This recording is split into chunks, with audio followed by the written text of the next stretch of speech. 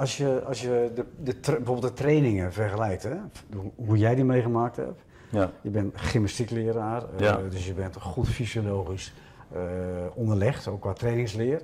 En je vergelijkt die met nu, wat, wat zeg je dan? Eh, nou, toen werd natuurlijk alles op intuïtie en gevoel gedaan. Hè? We, we liepen in de voorbereiding altijd in het panbox. Maar je was al gymnastiekleraar. Ja. ja, maar goed, maar ik heb die trainingen toen niet gecomponeerd. Dat hebben Frits en Bert gedaan. En die, stond, die liepen altijd voorop in de gedachte. Nou, wij zijn be- begin 30, wij zijn CEO's, jongens. Die trainen door in, eh, in de zomer. Dus, dus iedereen eh, moet ons bij kunnen houden. Dat was de norm. Dus als je die twee niet bij kon houden, nou, dan stond je natuurlijk al niet in het eerste. Nee. De Ton Pronk was net gekocht. De grote Ton Pronk, die Ja, kwam ja. van, eh, Van Ajax. Van Ajax, ja. Ja, bij Ajax deden we altijd zo en bij Ajax dit en dat. Maar ja, Ton kon helemaal niet lopen. En Ton had vaak ook een beetje overgewicht.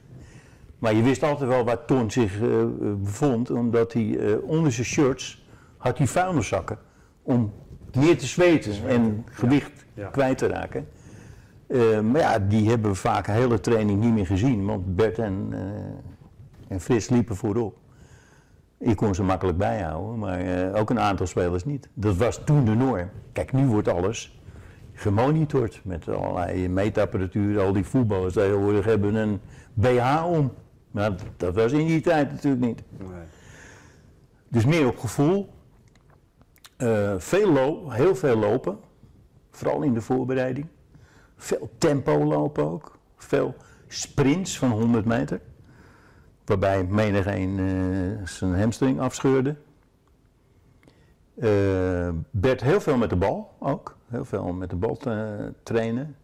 En, en veel ook in structuren van het, van het team. Hoewel dat op dat veld niet of nauwelijks kon. Omdat het veld veel te klein was. Maar ja, kijk. En ze deden het met z'n tweeën.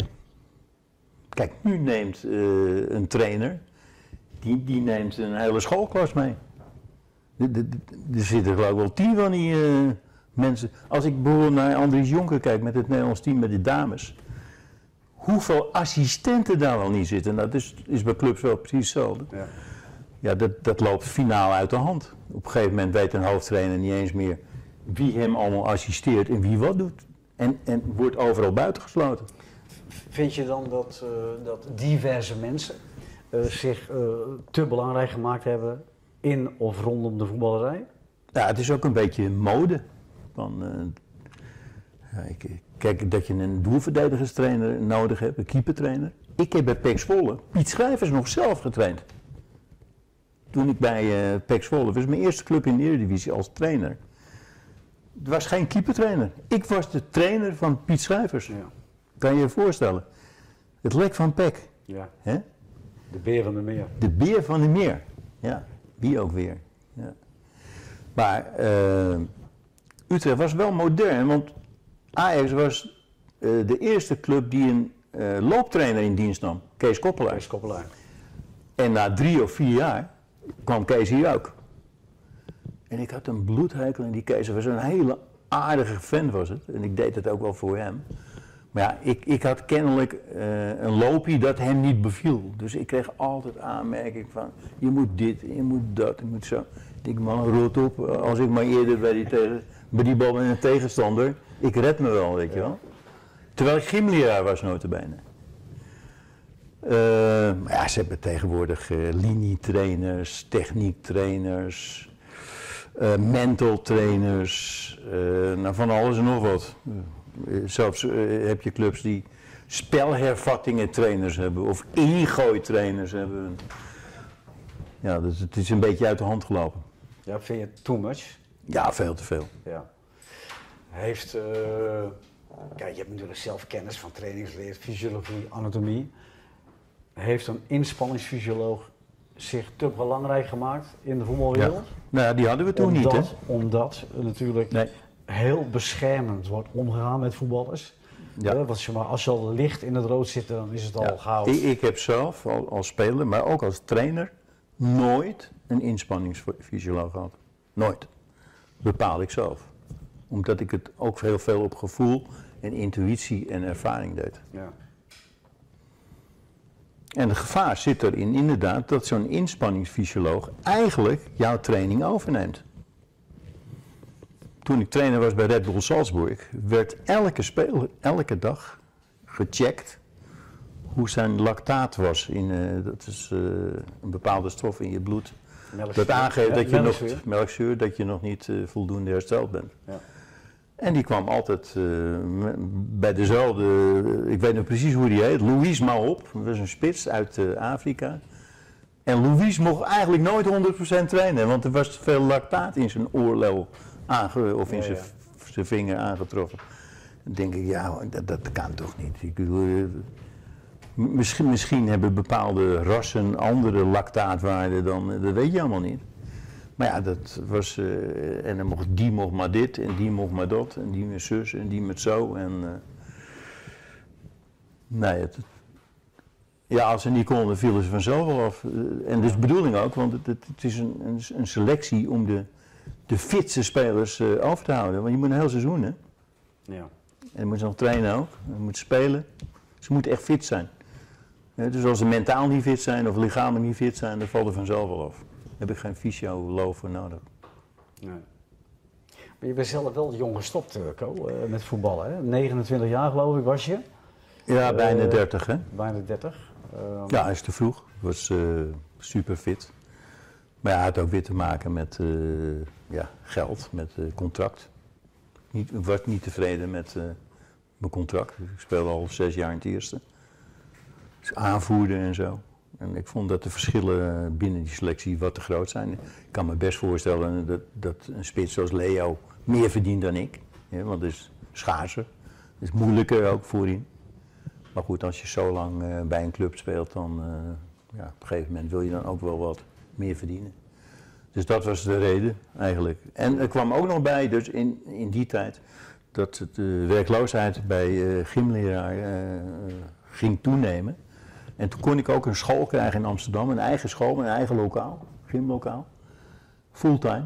En dan denk ik, ja, als ik die kans nu niet pak en ik teken nog een jaar, twee jaar bij, over twee jaar is misschien geen baan meer eh, als gymleraar. Dus dat kwam er ook nog bij. En er kwam ook nog bij dat ik bij een amateurvereniging kon spelen. Nou ja, die betaalde dan ook nog wel wat. ja. Dus eh, onder, de, onder de streep eh, ging ik er eigenlijk niet zo op achteruit. Nee. Nee, ehm, Utrecht is ook een beetje bekend vanwege de cynische humor, hè? de kleedkamerhumor. Heb je daar nog een leuke anekdote van?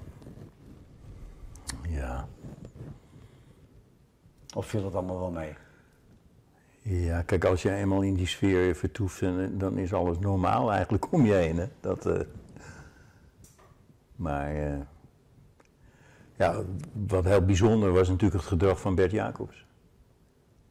Dus zeker als het hem niet beviel. Dus, dus als hij boos werd op, op een training of vooral ook in de rust in thu- thuiswedstrijden. Als het niet liep en we werden uitgefloten, nou dat ging iedere keer zo. Ja? Ja, dan werd je dus echt een beetje bang. Hè? Dan werd er echt gegooid met eh theekoppies. Of, of bekertjes. Ik weet niet of het toen ko- kopjes of bekertjes waren. Maar, eh. en, en op feesten en partijen, hè, dat Bertus... eh nou, hij moet het boek lezen dat pas uitgekomen is eh, van Bert Jacobs. Het is een fantastisch boek. Het is heel mooi beschreven. Er staan al dat soort dingen eh, staan erin. Maar, anekdotes. ja, maar kleedkamerhumor. Ach ja, het is allemaal hetzelfde. Stropdas afknippen of een roomsoes in een schoen doen of, of een drol in een... Of eh, het eerste jaar had je de gebroeders Hardeman geloof ik ook nog. Die kwamen ergens ook onder Utrecht vandaan. Die reden in zo'n gogomobiel. Zo- Zo'n zo, zo'n autootje met zo'n kap over en dan kon je achter elkaar zitten. Oh, ja, ja. En die is niet zo zwaar. En dan, eh, dan, dan vertilden ze hem eh, die, dat ding naar een plek achter een hek. En dan kwamen ze aan. Dan konden ze niet weg. Dan stond hij ergens in een plantsoen, weet je wel. Dat, eh. Achter een hek. Ja. Maar ja, dat, ja, er gebeuren zoveel dingen dat... eh, ja. ja. Eh, Co, je bent ook nog een eh, tijd adviseur geweest hier bij, eh bij Ja. Utrecht. Hoe kijk je terug op die periode? ja, niet geslaagd. Kijk, eh, als je adviseur bent, dan, dan moet je eh, dusdanige adviezen geven. Die zichtbaar zijn op het veld, in het elftal. Want ik, ik, mijn kracht is trainer zijn. En verstand van eh, winnen hebben. En van eruit halen wat erin zit hebben. En eh, ja, dan merk je toch van... Als ik zelf niet aan de knoppen draai... Kan ik nog zo mooi aan een ander vertellen. Maar, maar die kan het niet. Of die doet het op zijn manier, laat ik het zo zeggen. Ja. Ja, want je komt daar, eh, zeker tijdens de wedstrijd, in stresssituaties. Ja, dan ga je toch op je eigen intuïtie en gevoel en dat van de assistent af. En ja, eh, Remco zegt altijd eh, van, nou, of- of- ja, van Schaik, ja. Eh, wie? wie? Wilco. Voor mij, nou, ja, ik wist dat er Co in zat. Wilco, die nu bij NEC zit. Ja, ja, ja. Die, die hebben ook aangetrokken. Hè? Die, die heeft er voorgesteld aan Van Zuimer. Ja, moet de code bij hebben, dit en dat, zus en zo. Dan gaat het vast wel beter. En, ja, doelstelling was natuurlijk hier om het stadion vol te krijgen. Dat was mijn eerste doelstelling. Zo'n grote stad.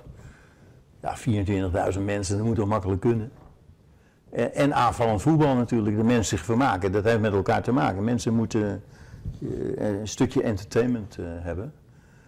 En dat heb ik toen ook uitgesproken. Maar eh Robbie Alver was toen trainer met Harry van der Ham. En eh George Ulte, die was ook nog assistent.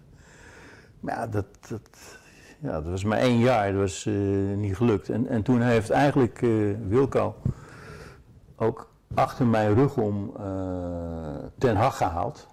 Terwijl ik adviseur ben.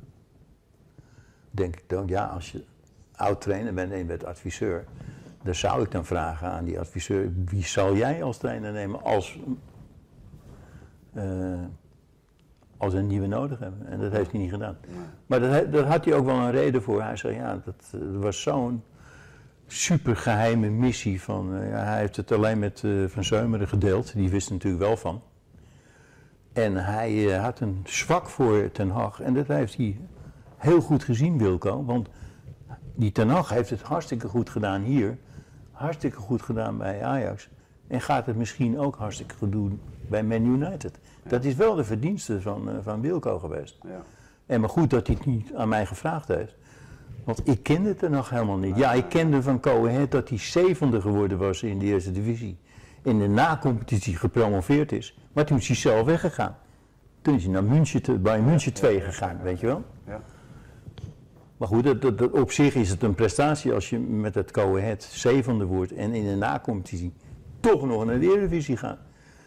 Maar voor de rest kende ik hem helemaal niet. Maar goed, dus eigenlijk de, de adviserende rol in, in, zo- in zo'n club, dat, dat, Nou, is- dit- dat, past ja, eigenlijk dat niet. heeft, dat dat is- heeft niks met Utrecht te maken, of met Wilco te maken, of met, met eh, Robbie eh, te maken, Alve. Maar ik heb gewoon gemerkt, ik, ik ben alleen goed als ik zelf aan de knoppen Ja, kan ja, draaien. ja. En niet in een, in een poppentheater dat ik daar eh, aan touwtjes moet trekken en, eh, en dan illusie heb dat ze, Ja. dat ze precies dat doen wat ik dan ook gedaan zou hebben. Ja. Maar Wilco heeft altijd gezegd, en dat zegt hij nu nog, want ik heb nu nog wel redelijk veel contact. Maar ja, misschien zegt hij dat tegen iedereen, van ik heb enorm veel van je geleerd.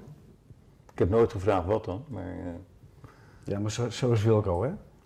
Wilco, Ja, ik ken Wilco niet. Hè? dus ik, ik neem eraan aan als hij dat zegt dat het zo is. Ja. Want als ik zoiets Wilco zeg, dan meen ik het. Op, op alle vlakken ontzettend leergierig. Ja. En die gaat voor de diepgang. Ja. Ja, prachtige vent. Ehm, Nou, ik had ook wel heel goed contact met hem hoor. En ik heb zelf toen voorgesteld, ik heb, want ik had een tweejarig contract hè. Ik zeg, ja, ja eh, ik stop er nu mee, want eh, je hebt achter mijn rug om eh, een trainer gehaald die ik helemaal niet ken. Ja. Dus wat heeft het dan voor zin om hier adviseur te zijn? En trouwens, het was ook niet zichtbaar in het elftal. Nu is het natuurlijk hartstikke moeilijk als je ergens op de tribune adviseur bent. Om via een trainer en, en- en spelers dan datgene te realiseren wat jij in je hoofd hebt. Dat is niet zo makkelijk. Nee. Wat verwacht je trouwens Je van, ziet het eh, trouwens ook, want volgens mij is advocaat nu ook adviseur, toch? Nee, eh, Kees Jansma zit in de Raad van Commissarissen. Ja, maar ja, die heeft geen verstand van voetbal. Hij denkt misschien van wel, maar hij is nooit trainer geweest. Nee. Ook Nee. nooit topspeler geweest. Nee. Hij heeft wel een beetje verstand van, maar niet in de zin dat hij anderen moet adviseren. Nou, voor de rest geen adviseur nu bij de club. Oh, dat advocaat hier eh, voor het seizoen zat? Eh, adv- advocaat is, ja, die is hier ook geweest. Dat was vorig jaar. Maar nu niet meer. Ja. Maar je ziet het zelfs bij eh Dat PSV. was, eh, dat eh, was, eigenlijk was Dick, de advocaat van, of Dick advocaat was eh, ondersteunend aan Rick Kruis. ja, Die laatste periode ja, hier bij de club. ja. Maar hij stond niet elke dag op het veld, toch? Nee, nee. Ja, af en toe in zijn regiojasje misschien, maar... eh, Nee, Ja, maar, dat- nee, dat- maar Dick, dat was, is Dick, dus- was, Dick was een klankbord voor Ricky. Ja, maar dat is dus ook niet goed gegaan. In die periode. Want anders was Rick nu hier hoofdtrainer geweest. Ja. Toch?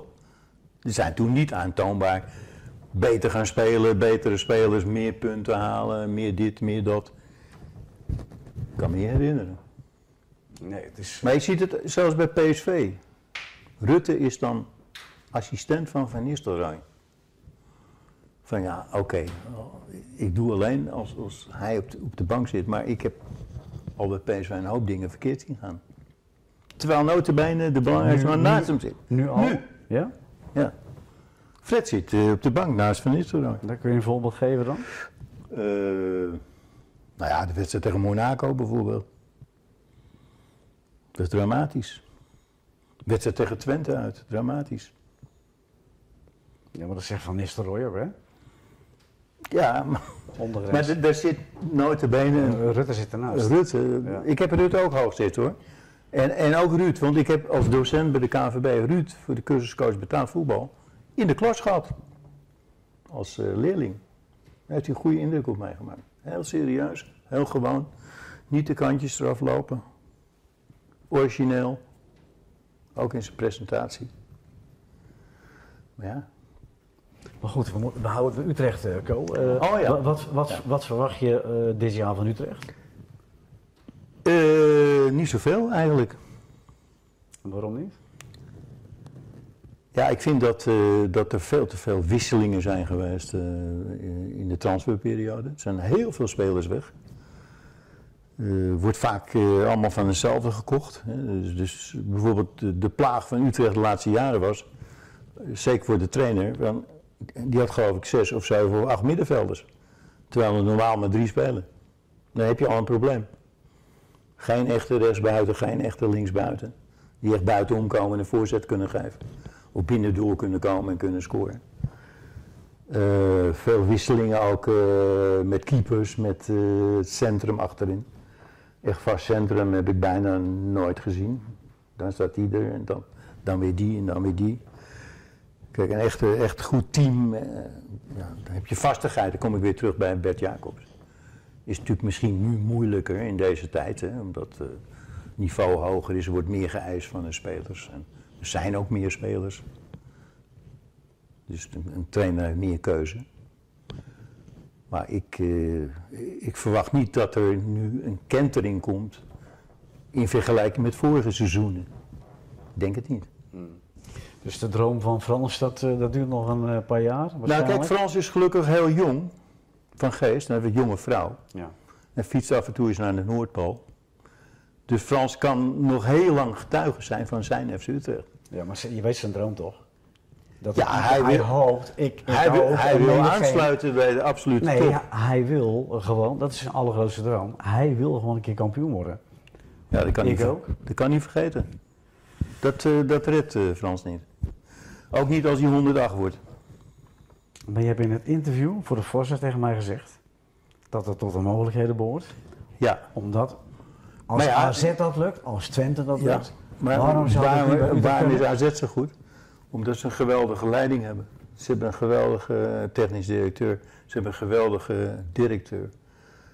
Ze hebben hele slimme mensen, financiële mensen in het bestuur zitten. Ze hebben eh, zonder enige steun van buiten een vermogen van 40 miljoen opgebouwd. Ze hebben de beste jeugdopleiding van Nederland op dit moment. Beter dan eh, Feyenoord, PSV of Ajax. Kijk naar alle jeugdteams, staan bijna allemaal bovenaan. Kijk naar de transfers die ze maken. Enorme winsten. Ja. En er staat er weer een andere klaar. Dus die club zit door de leiding. En ook natuurlijk, eh, kijk, eh, bijna alle toptrainers zijn er geweest. Hè. Koeman is er geweest, eh, Verbeek is er geweest, Van Gaal is er geweest, ik ben er geweest. Dus het- ook in de keuze van trainers zit een beleid. Ze nemen niet Pietje Puk plotseling. Hè. Ze nemen altijd wel iemand die bewezen heeft. Ja, nu hebben ze met Jansen misschien een beetje een gok gemaakt. Maar is ook is geen gok gebleven, want die man staat nu al vrij lang voor. Het tweede seizoen al. En voortdurend zijn de beste spelers verkocht, Ja. maar er staat toch weer een team. En hij speelt toch weer Europees. Ja. En ze spelen aantrekkelijk, ze spelen herkenbaar. Dus het is wel mogelijk, maar het begint bij de top. Goede algemeen directeur, goede technisch directeur, goede scouting, goede trainers aanstellen, slim zijn met transfers. Daar kan je enorm mee verdienen, met, met slim zijn met transfers. Potje maken. de laatste jaren is hier enorm veel verdiend hè, met, eh, met de verkoop van spelers. Ja, de laatste twee jaar pas. Ja. Daarvoor nooit. Maar de laatste twee jaar wel. Ne- Neem alleen maar die Timber. Is hij niet gratis gekomen van Ajax? Ja? Dat, dat heb ik nou niet van Ajax begrepen. Dat ze die Timber gratis naar Ajax hebben, of naar Utrecht hebben laten gaan. Ja, Quinten heb ik het over, hè? Ja, Ja. onbegrijpelijk. Want hij heeft toch 10 miljoen opgeleverd? Naar Feyenoord? Ik geloof acht. Acht. Acht. Foutje van Ajax. Ja. Ja. En mazzeltje voor Utrecht. Ja. Ja. Dus ja, ja. ik, ik gun het Frans en Connie, Gewoon niet. of Gonnie, Ja. enorm, want ik vind een bijzonder sympathieke vent. Echt een doorzetter. En gewoon en eh, ook in zijn privé bestaan. En eh, ik gun het hem van harte. En eh, ja, Utrecht moet blij zijn met zo'n man. Dat zijn we allemaal. Maar kampioen worden van. eh, ja, er moeten gekke dingen gebeuren. Dat kan natuurlijk ook. Hè? Dat er plotseling een soort corona uitbreekt bij, bij alle concurrenten. Behalve bij Utrecht. Ja. Ja. Dat, dat wonderen zijn de wereld nog niet uit. Nou, dat is niet Maar, een al te, al te hoog verwachtingspatroon, Co. Helaas. Nee. Ik denk dat als ik Utrecht in moet schatten. Ajax, Feyenoord, PSV, Twente, AZ. Die zijn allemaal beter. Nou, dan vergeet ik misschien nog een paar. En de rest is allemaal hetzelfde. Nou. Beetje. Aan de FC om te bewijzen hè, dat, Mijn eh, dat, dat, dat het anders gaat Nou, ik, liggen. ik, denk als, als ze zesde worden dat het maximale eh, is dat ze kunnen halen. Ja. Met deze trainer en deze selectie en, en deze technisch directeur. Denk ik. Nou ja, we gaan het zien, Co. ik hoop Eh, voor Frans dat, eh, dat ik het helemaal mis heb. Maar... Ja. Ik zou zeggen, eh, dus zo sluiten we altijd af. De laatste woorden zijn voor jou. Dus je kan je richten tot de fans van FC Utrecht. De allerlaatste keer. Ja, ik richt me dan vooral voor de fans die, die thuis blijven. Want eh, ik heb al gedacht, eh, er zijn 24.000 eh, plekken. Dus, dus die laatste 6.000 die komen wel vol. Dus ik, ik wil vooral een oproep doen aan de wegblijvers. Kom naar het stadion. En appel doen aan, aan, aan de spelers en de technische staf. Ja, ga echt FC Utrecht voetbal spelen. Speel voor de winst. Speel vatbank. Breng spektakel. Dat hoort bij eh, FC Utrecht. En dan kan je best een paar, paar keer verliezen. Maar als je van de zevende keer 14 keer, wi- eh, 14 keer wint, dan heb je al een hoop punten. Ja. Volledig eens. Volledig eens. Oh, nou. ja. Ja, eh, dat, dat willen wij ook. Ja. Wij willen strijd, passie, beleving, Maar ook punten natuurlijk. maar ook amusement. Je, moet Ja. wel, je wil- willen wel tevreden naar huis gaan. Ja. In ieder geval. Maar, maar niet in, in, in de zin van eh, amusement, eh, een hakkie daar en een tikkie nee, daar. nee, en, nee, eh, dat, dat past niet buurt. dat past niet Utrecht. Dat- Eh, als je, als je een wedstrijd in hoog tempo ziet, ja, dat is ook amusement. Hè? Ja. En, en- veel schoten op doel en veel voorzetten. En veel bal op de paal, op de lat, eh, een leuke individuele actie. ja, de oes en de aas van de tribune. Ja, ja, dat, dat- moet dat weer dingen? Ja. Nou, Co, eh, ontzettend bedankt eh, dat je aanwezig wilde zijn. En, eh, Ik hoop dat ik niet te veel mensen beschadigd heb bij FC Utrecht, maar ik zeg het uit mijn hart. Want ik, ik, voel natuurlijk nog steeds mee met Utrecht. Ja, Daar heb ik gespeeld, zes jaar in de Eredivisie. En nergens anders. nee. nee. Dat is een van de redenen dat je hier bent in ieder geval. Hè? Het is toch, toch nog jouw club. Ja, nou ja, mijn club. Kijk, je, ik, ik heb natuurlijk ook eh, bij Ajax gezeten, vijf jaar in de eh, opleiding en, en bijna twee jaar eh, bij het eerste. Nee, maar als speler bedoel ik. Als speler.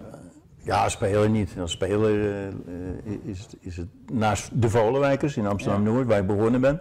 Ja. iedereen begint ergens. Dat, dat is eigenlijk je clubpie. Was even weg, is gelukkig weer terug. Samen met Anders Jonker ja, proberen daar wat steun aan te geven.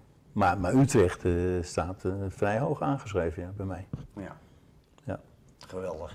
Nou, ik hoop dat ze bepaalde bewoordingen eh, het tegendeel bewezen worden Ja. in ieder geval. Dat hoop ik.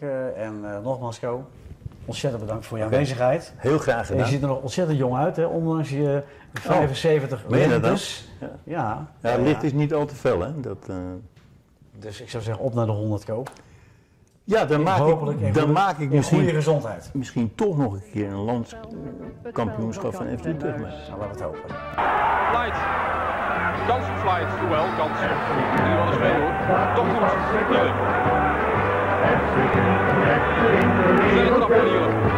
Wordt er gevaarlijk. De Meulen.